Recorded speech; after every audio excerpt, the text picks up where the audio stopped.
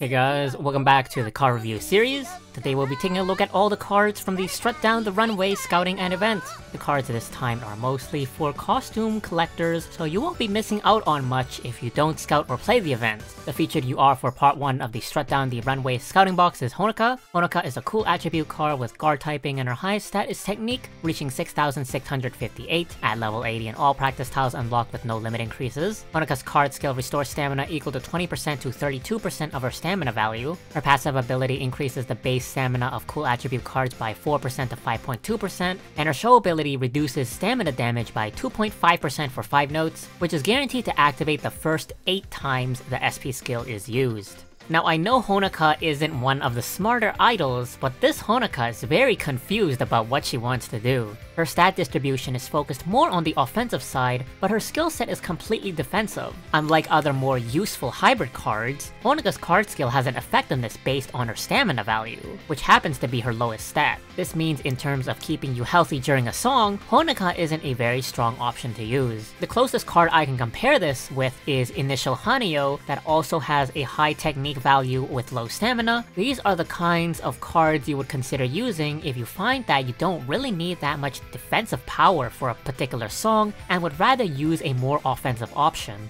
But since Honoka is cool attribute, she's competing with Festival Mari and Riko who are both top tier defensive cards with strong offensive potential. Even though Honoka does have a higher technique value than both of these cards, she doesn't offer any other offensive benefits, so she isn't that desirable to use. The only scenario you would prefer to use Honoka over those two, assuming you had the freedom of choice, is when a song specifically benefits guard-type cards, such as Wake Up Challenger. But if there's no specific trick notes or appeal chance effects to take advantage of, Festival Mari and Riko are just so much better to use as a cool attribute defensive option. The last thing to mention is her show ability, which can provide 2.5% damage reduction for up to 40 notes each song, assuming you activate the SP skill 8 times during a song with no overlap.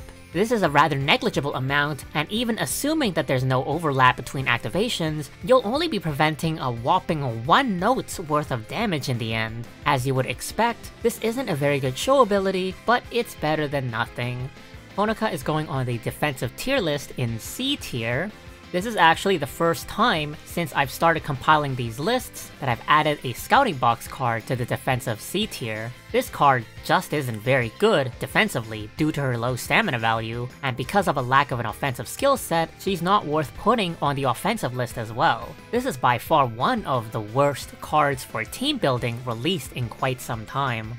The featured SR for both boxes is the Mitaiken Horizon Hanamaru. Hanamaru is an active attribute card with voltage typing, and her highest stat is appeal at 4340. Hanamaru's card skill increases the appeal of active attribute cards by 4% to 5.2% for 5 notes. Her passive ability increases the base appeal of active attribute cards by 2% to 3.2%, and her show ability increases the appeal of active attribute cards by 3.8% for 5 notes, which is guaranteed to activate whenever an appeal chance is cleared.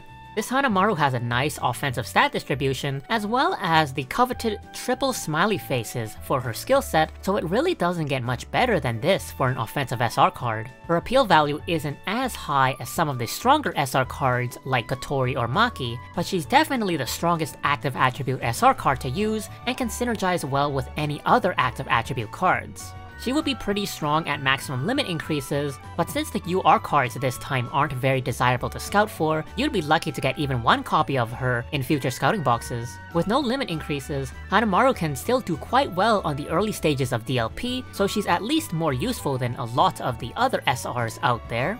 The feature UR for part 2 of the Strut Down the Runway scouting box is Ai. Ai is a natural attribute card with skill typing and her highest stat is appeal reaching 5905 at level 80 and all practice tiles unlock with no limit increases. Ai's card skill increases the appeal of cards on the same strategy by 7% to 9% for 5 notes. Her passive ability increases the base technique of cards on the same strategy by 5% to 7%, and her show ability increases the total voltage by 100% of her appeal value, which is guaranteed to activate the first time the SP skill is used. Whenever KLab releases a new natural attribute UR card, there's usually some fundamental flaw that makes them not worth using. For Ai, it's the curse of being skill type. That's her major drawback, but her offensive stats aren't too good either. Her highest stat is Appeal, and it doesn't even reach over 6000, which is the benchmark that separates cards from the top offensive list and the bottom offensive list. As for her skill set, she does have a great card skill. It's a strategy-based appeal boost, which Initial Kanan also possesses. But that's all that's good about her skill set, since boosting the base technique is the least important passive ability for most players to use, and her show ability is just a glorified voltage plus insight skill, and we all know how much the community loves to hate those skills. Ai is going on the bottom offensive tier list in B tier. Too much of Ai's stat distribution is invested into stamina, which takes away from her offensive potential. Since she doesn't offer much synergy on a side strategy either, the only real use for this Ai is her costume most likely.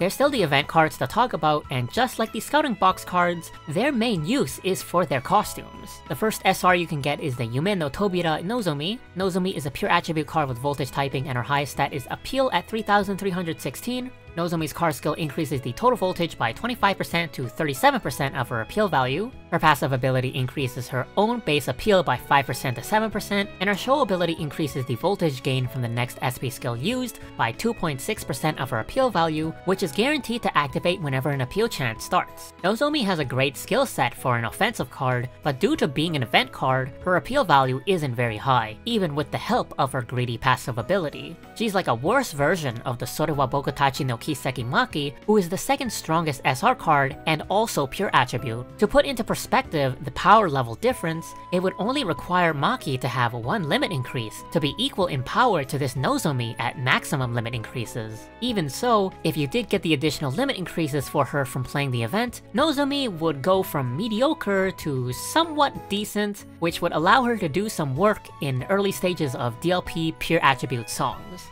The other SR you can get is the Yagate Hitotsu no Monogatari Shizuku. Shizuku is an elegant attribute card with guard typing and her highest stat is stamina at 3596. Shizuku's card skill grants a shield of power equal to 15% to 27% of her stamina value. Her passive ability increases the base stamina of elegant attribute cards by 2% to 3.2%, and her show ability restores stamina equal to 6.6% of her stamina value, which is guaranteed to activate whenever an appeal chance is cleared. I would consider this Shizuku to be the best card you can get this event, and whenever the SR card is better than the UR card, it's quite tragic. Shizuku is a shielder that can provide guaranteed heals with her show ability, which puts her on the premium list of shielder cards. Getting a new defensive card is always a good thing for DLP, and there's no reason not to get the additional limit increases for her from playing the event, since it's just so easy to do. She makes for an excellent defensive card to use for DLP Elegant Attribute songs, but ironically this card isn't good to use for her third solo song, since that's natural attribute instead.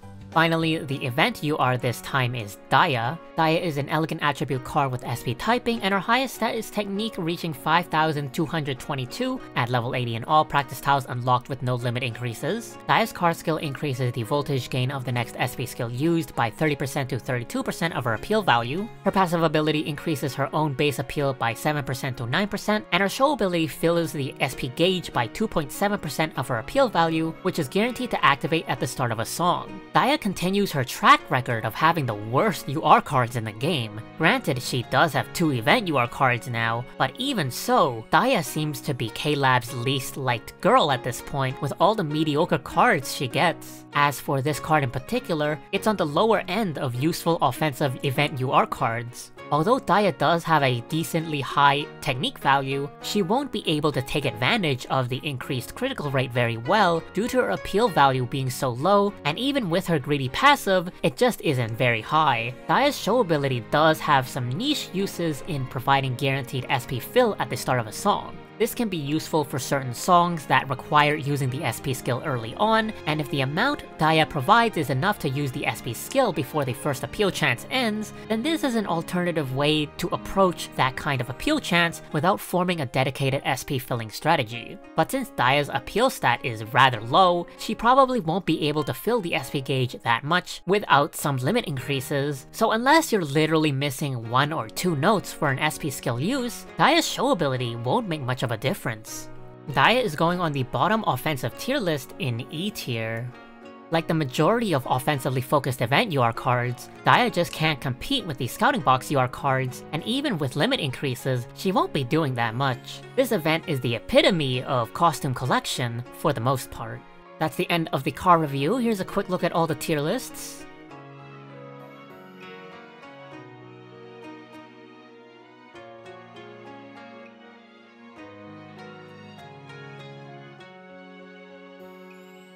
In case you didn't know, I finally finished my All-Stars book. You can download this 600-page PDF by becoming a member of my Patreon and pledging $5. Infinite knowledge of All-Stars could be yours, and it comes with the bonus of paying for my cover on. Patreon members also get to watch my car review videos one day earlier before their public release. At the end of my car reviews is when I shout out my super special supporters on Patreon. All my SR, SSR, and UR card members are shown on screen. Thank you for your immense support, it makes my heart go doki doki. My final thoughts, this is a great set for costumes, but a terrible set for team building. As always, save your star gems for the festival boxes and the anniversary boxes coming out very soon hopefully. Thanks for watching and I'll see you next time.